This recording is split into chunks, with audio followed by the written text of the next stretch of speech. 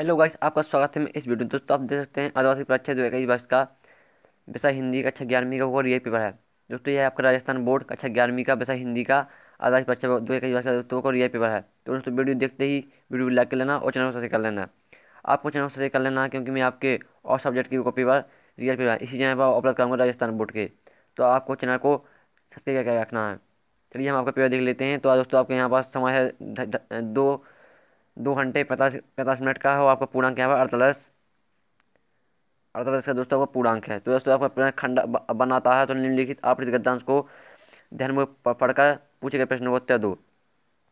तो आप इसे आप गद्यांश अच्छी तरह से पढ़ना है, फिर यहाँ पर क्वेश्चन दिए गए हैं उसके चार। तो आप इन चार क्वेश्चन का अच्छी तरह से देना है। अगर आपको दोस्तों सोल्यूशन चाहिए तो कमेंट करना है। कमेंट करिए, मैं आपको सोल्यूशन दूँगा। फिर यहाँ देख सकते हैं निम्नलिखित आप गद्यांश को पढ़कर पूछे गए प्रश्न को उत्तर दो। तो दोस्तों आपको इस, आप गद्यांश अच्छी तरह से पढ़ना है। यहाँ पर प्रश्न दिए गए हैं। तो दोस्तों, अब अच्छी तरह से यहाँ पर प्रश्नों का उत्तर इस अपने से दोस्तों लिखना है।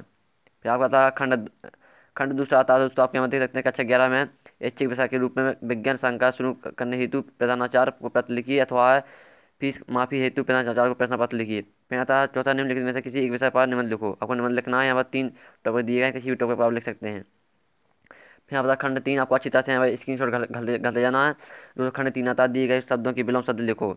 तो दोस्तों, आप यहाँ देख सकते हैं कि अमृत घृणा, ईमानदार दिन। तो दोस्तों, आपको बिलोंग शब्द लिखना है, इसके फिर आता है छः मन लिख के लिए एक शब्द लिखना है आपको।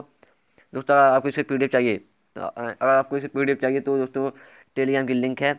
डिस्क्रिप्शन में आप टेलीग्राम की लिंक पर जाइए, क्लिक करिए और आपको यहाँ पर टेलीग्राम पर इसका पीडीएफ मिल जाएगा। फिर आपको सातवां आता है निम्नलिखित शब्दों के प्रवासी शब्द लिखो।